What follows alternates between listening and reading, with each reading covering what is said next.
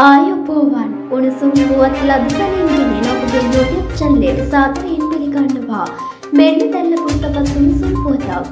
නාරාහි පිට ආර්ථික මධ්‍යස්ථානයේ කුකුල් මස් කිලෝවක තොගමිල රුපියල් 30කින් අඩු වී ඇති බව වාර්තා වෙනවා. ඒ අනුව කුකුල් මස් කිලෝ එකක තොගමිල අද සටහන්ව තිබුණේ රුපියල් 940ක් ලෙස සටහන් වී ඇති අතර අනිකුත් මාංශ මිල ගණන් මෙලෙස සටහන් වී තිබෙනවා. ෆ්‍රෙශ්මස් රුපියල් එක්දා සැත්තෑවයි සමසහිත රුපියල් නම්සය අනුවයි ශීතකල රුපියල් නමසය අනුවයි කරිචිකන් රුපියල් එක්දස් පණහයි හබට් රුපියල් එක්දා සාරසිය පණහයි එළමස් රුපියල් තුන්දා සාරසියයි හරක් මස් කිලෝ එකක් රුපියල් දෙදස් පන්සියයි මෙන්නම පුවත නැවත. ඒ අනුව කුකුල් මස් කිලෝක තොකමිලත සටහන් වී තිබුණේ රුපියල් නමසය හතලිහක් ලෙසයි.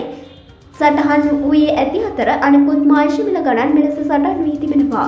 ෆ්‍රෙස්ම කිලෝ එකක් රුපියල් එකසිය එක්දා සැත්තෑවයි සමසහිත කිලෝ එකක් රුපියල් නමසි අනුවයි ශීතකල මස් කිලෝ එකක් රුපියල් නමසි අනුවක් ලෙස සටහන් වී තිබෙනවා.